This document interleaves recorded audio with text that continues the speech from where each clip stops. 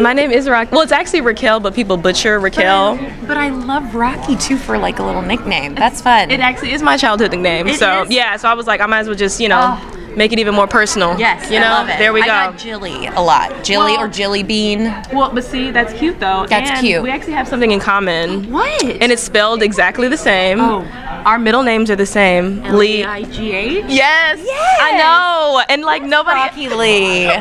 Okay. See, I, was like, it. I was like, it's meant to be, and we're in, in April together. Where where are you But in, in I'm the tenth. I'm an Aries. Okay. You got I'm the 20 Yeah, I'm the 25th. That's okay. April Oh. Tauruses are better than the May ones. Really? To me, they are because the May ones are just a little bit too aggressive and oh, like They're too aggr- Well, yeah. I mean, we're bulls. Yeah. We're very aggressive. the stubbornness, you Yeah. know. But What you are know, the qualities of an Aries? Aries, we're like go-getters, very ambitious, but Okay. sometimes we can our anger can got like ah like kind of crazy. Okay. So people don't really like us all the time. Oh. But that's okay. I like you. This is See, this is. you never know. You have to get to know. No, I'm just kidding.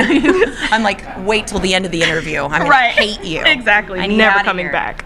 But hey, everybody. My name is Rocky Harris with AfterBuzz TV, and I'm standing here with Jillian Bell. Hey. Amazing. So tell us about your character on the show, Bless the Harts, and how you signed on. Um, I play Violet Hart, and she is a 13 year old, but sort of the voice of reason on the show. Mm-hmm. and she's sort of um, angsty, a little gothic, and way cooler than who I am in real life. Like, she likes be horror movies and like knows bands I've never heard of. And um, I would very much like to hang out with her, and she probably wouldn't hang out with me. Right. And it's, I mean, it's been a while since we've been 13 years old. How was it tapping into that teenage, especially modern day teenage? I feel like that's so different than how Right. we were when we were teens. Well, it's interesting because she's very mature for her age. Like I would say she's one of the most mature in the family. Mm-hmm. So even though she's 13, she's still kind of the most adult in the Okay. family. Yeah. For sure. Yeah. And then um, I also have a question that I've asked everyone that's come down the press Ooh, line. okay. I feel like the show is about American dreams. So, what would you say is your definition of an American dream, and have you achieved it yet?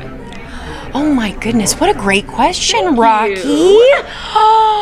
uh the American dream.